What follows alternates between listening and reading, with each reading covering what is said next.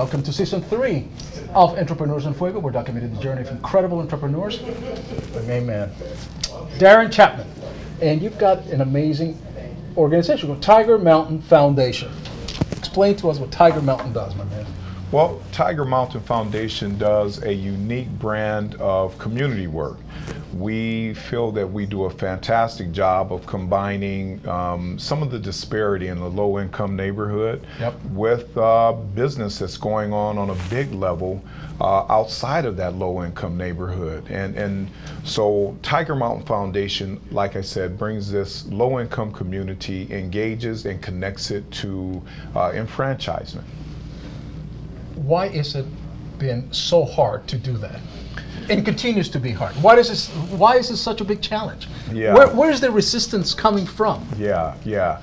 I, you know, I, it, so it, it's a multitude of reasons. I'm going to give you, I think, my top two All right. uh, reasons why it's been so tough. I, I think, first off, people who typically aren't into big business um, for, for a lot of different reasons, wh- whether it's uh, educational, whether it's uh, uh, social, whether it's uh, behavioral, environmental, um, typically those are uh, very glaring reasons to not be engaged with bigger, better, stronger business. So um, that that's a divide. It's a huge divide.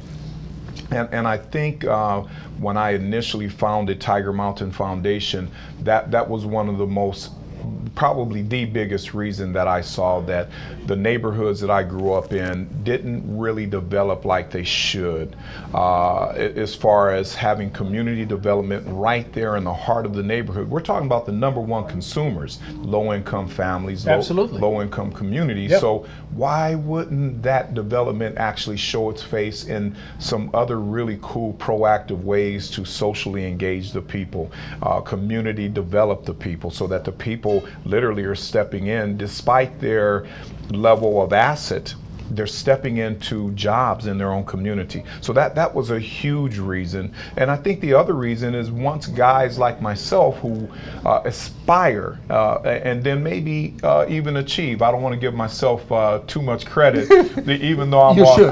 No, entrepreneurs in fuego. yeah, yeah. I, I, I'm feeling on fire here, so I don't, I don't want to say pop my collar too much over here, but.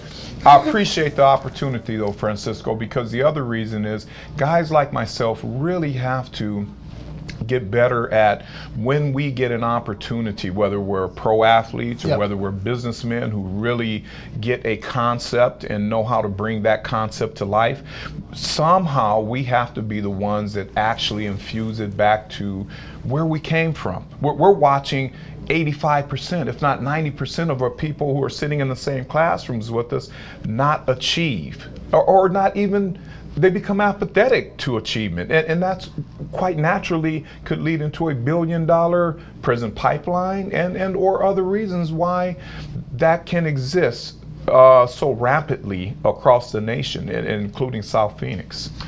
How do we break the cycle?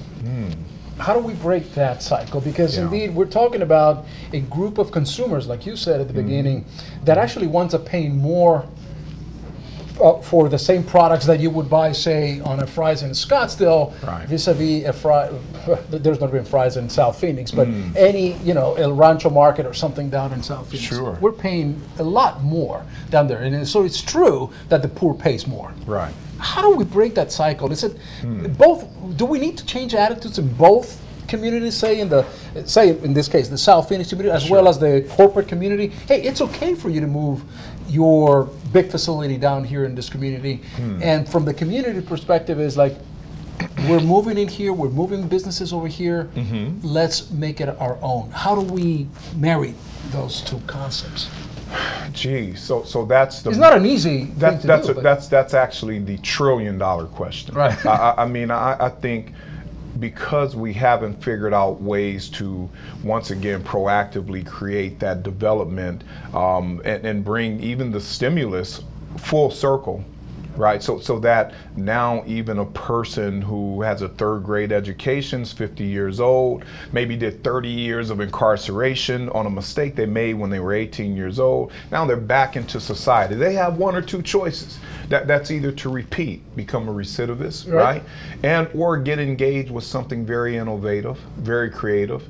Ah, here's an opportunity to maybe do a shameless plug for, for the type of work that we do, or, or just keep it real though, Francisco. I mean, I think the way that we break that, that cycle is to have this type of innovation that actually can engage the folks of our community into caring about what happens next door to them, what, what happens in that vacant field as they turn it into a very vibrant community garden, what, what other opportunities now in that community garden that actually speak to the different disparity, health disparity with nutritious produce, active lifestyle as opposed to obesity these are some of the ways now that you can actually engage the folks and, and, start to break that cycle because now people, as opposed to looking at this type of creativity as a food stamp program, yep. as more cheese to get for free, right? That clogs your arteries, right? Or Jimmy Carter style.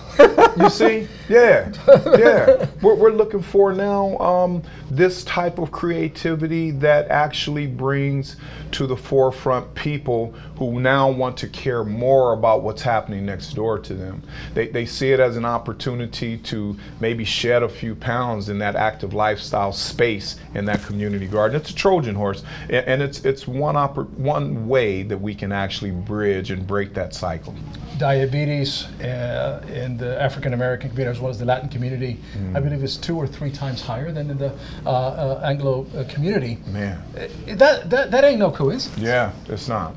Yeah. If we are able to, again, just education, right, break the cycle. Sure. Organizations such as yours, mm-hmm. who are building gardens, community, right in the middle of what and seemingly would be impossible to do or impossible communities.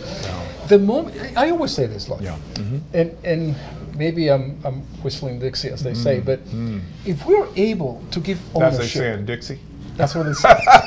hey, you know, I mean, the, the, brother and the brown man got to keep it real, baby. I, I, say that too, and I'm like, where in the heck did I get that oh, from? Oh, I, I, I, I, I whistle Dixie, whistle and, Dixie, uh, baby. Not really not sure right. what I'm necessarily whistling. But, but, but yeah, exactly. I'm sorry. But I, yeah, yeah, yeah, yeah, I, hopefully I'm not whistling. yeah, right, but, right. But I tell you know, creating a community in which the community itself takes ownership to it. Sure. Give it ownership, mm-hmm. because I guarantee you that that 17 year old kid that has been in prison a couple of times and it's coming out. It's been in juvie and it's coming out. Wow. If the moment you say, hey, look, by the way, you own part of this garden. Really? Yeah, you own part. They're going to take care of it. Instead of saying, eh, you know, yeah, we're going to look for a job yeah. or, you know, you got to go this. Yeah.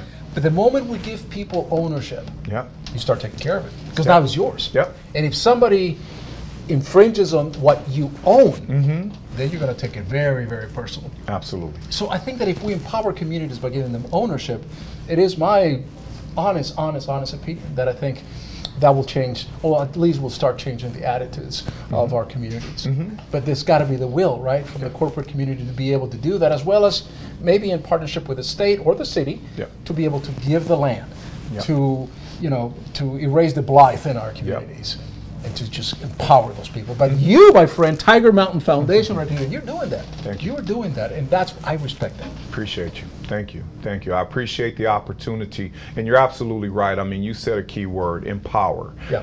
Uh, we we have incredible quantitative stories, but but that's almost from the business perspective of a nonprofit, still needing to pay bills, keep our classroom instructional space open.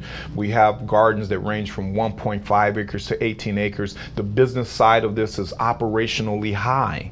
So to do social venture in our community is a steep price. And you're absolutely right. But it works so when kids drive by who are 11 years old, who are now 18 years old, who are now not paying into an 18 or, or paying into a billion dollar prison pipeline, yep. but but they're coming back to say hello. Uh, we, we had a homeless guy who just recently donated $50 to the, oh. the nonprofit. That touches, Here. yeah, it touches yeah. right there, and, yeah. and, and it it, it, it speaks to exactly what you're talking about the empowerment, the ability of people to say, hey, I own this. I have empowered myself. Matter of fact, uh, I've even passed the baton on to others. And, and you're absolutely right. This is the uh, key way, another key way. I, I see really great people trying to do fantastic things in the community, but uh, I also feel that we are very unique in what we do in our community to The- empower people. The cost of doing nothing is greater than the cost of investing in the community. Darren Chapman, my man. Thank you. TigerMountain Foundation, and with that, we're out.